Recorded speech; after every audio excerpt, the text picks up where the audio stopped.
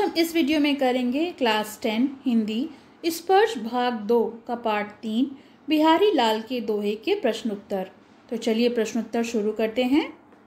निम्नलिखित प्रश्नों के उत्तर दीजिए। तो पहला प्रश्न है, छाया भी कब छाया ढूँढने लगती है? तो इसका उत्तर है, जेठ के महीने प्रचंड गर्मी होती है। सूरज की तेज किरणों से धरती जलने लगती है। कहीं भी छाया दिखाई नहीं देती है। ऐसा लगता है मानो छाया भी छाया ढूंढ रही है। प्रश्न दो, बिहारी की नायिका ये क्यों कहती है? कहिए सबू तेरो हियो, मेरे हे की बात। स्पष्ट कीजिए। तो इसका उत्तर है, बिहारी की नायिका। कपकपी और श्वेत के कारण कागज़ पर संदेश नहीं लिख पाती है।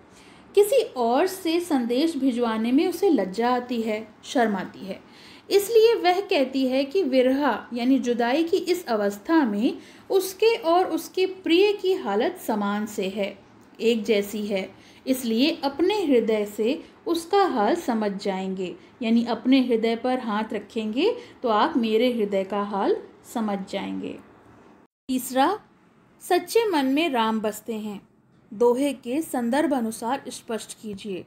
तो इसका उत्तर है, बिहारी का कहना है कि माला जपने और तिलक लगाने जैसे बाह्य आडंबरों से किसी को ईश्वर की प्राप्ति नहीं होती।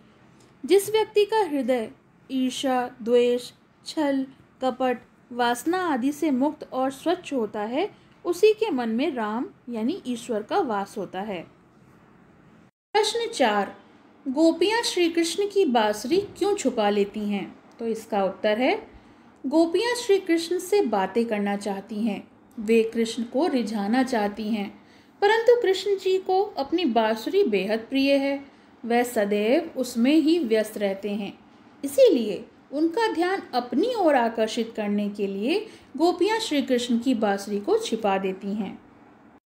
प्रश्न पाँच।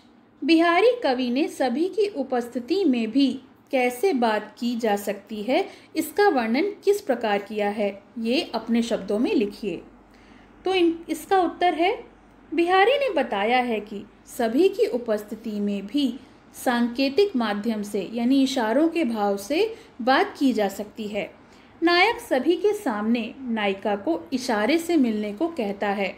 नायिका भी इशारे से मना कर देती है। उसके मना करने के भाव पर नायक रीत जाता है, यानी मोहित हो जाता है, जिससे नायिका खींच उठती है, यानी बनावटी गुस्सा दिखाती है। दोनों के नेत्र मिलते हैं, जिससे नायक प्रसन्न हो जाता है और नायिका की आँखों में लज्जा आ जाती है। प्रश्न खा, भाव स्पष्ट कीजिए। तो ये पहला है कि मनो नीलमणि सैल पर आतपु पर्यो प्रभात। तो इसका उत्तर है इस पंक्ति में श्री कृष्ण की तुलना नीलमणि पर्वत से की गई है। उनके अलौकिक सौंदर्य को देखकर ऐसा प्रतीत होता है, मानो नीलमणि पर्वत पर प्रातः, यानी सुबह के समय, सूर्य की धूप फैली हो। दूसरा है जगतु तपवन सो कियो दीरक दाग निदाग। तो इसका अर्थ, यानी इसका भाव इस प्रकार होगा। बिहारी जी ने इस पंक्ति में बताया है कि ग्रीष्म ऋतु की प्रचंडता से पूरा जंगल तपोवन बन गया है। इस मुसीबत की घड़ी में सब जानवरों की दुश्मनी खत्म हो गई है। सांप, हिरण और सिंह सभी गर्मी से बचाव के लिए मिलजुल कर रहने लगे हैं। कवि ने शिक्षा दी है कि हमें भी विपत्ति की यानी मुसीबत की घड़ी में मिलजुल कर उसे निपटाना चाहिए। तीसरा है जप माला छापे तिलक सरे, ना एको कामू, मन काचे नाचे व्रथा साचे राचे रामू। तो इस पंक्ति के भाव इस प्रकार से होंगे।